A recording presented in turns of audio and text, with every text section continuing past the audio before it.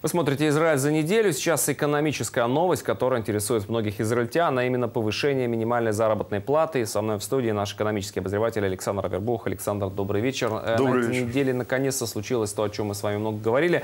Кнессет принял решение о повышении минимальной заработной платы. Э, кого нужно поздравлять?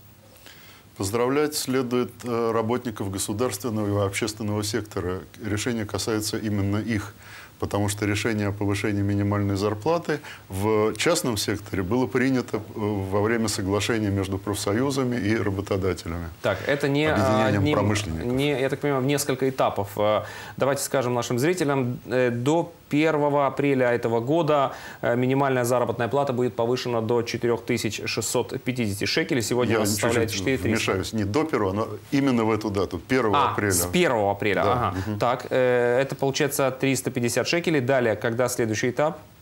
Следующий этап 1 июля 2016 года еще на 175 шекелей. Угу. И последние 175 шекелей э, получат наемные работники частного сектора, э, а, государственного, прошу прощения, сектора 1 января 2017 года. Но, но в частном секторе то же самое. Там те же даты, то же соглашение, просто государство к ним присоединилось. То есть через два года. Но э, получается 700 шекелей это большое, это маленькое повышение. Насколько это, можно сказать, э, какое-то революционное изменение с точки зрения повышения минимальной заработной платы в Израиле?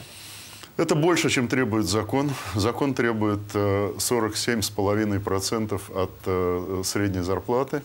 Угу. Это больше, чем требует закон, но много это или мало, это трудно сказать. Во-первых, речь идет о номинальных суммах, не привязанных.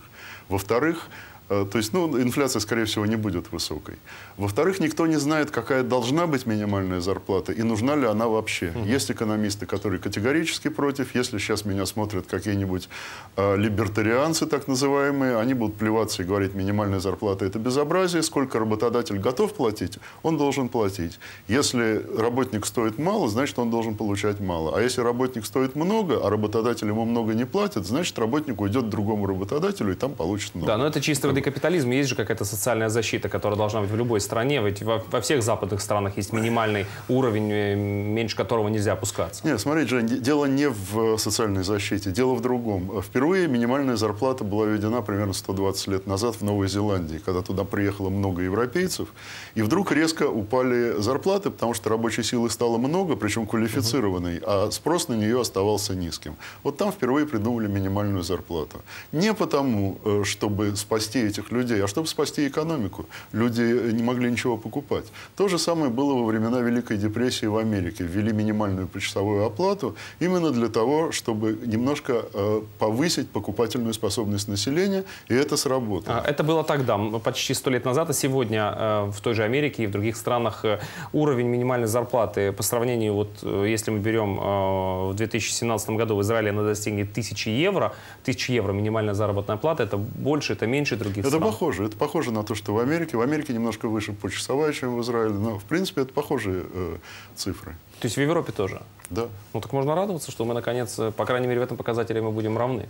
Смотрите, во-первых, э, неизвестно, нужно ли радоваться, потому что в Израиле особая ситуация. Если вы э, повышаете зарплату наемным работникам в государственном секторе, а этого наемного работника защищает профсоюз, его нельзя ага. уволить, то, как вы понимаете, неравновесная ситуация между работодателем и работником получается. Понятно. Либо дайте право работодателю увольнять работника, и тогда устанавливаете минимальную зарплату, либо отменяйте минимальную зарплату. Ясно. Ну, добавка в любом случае будет э, к тем, кто э, работает на минимальную зарплату. Александр Вербух, большое спасибо за ваш комментарий. Спасибо.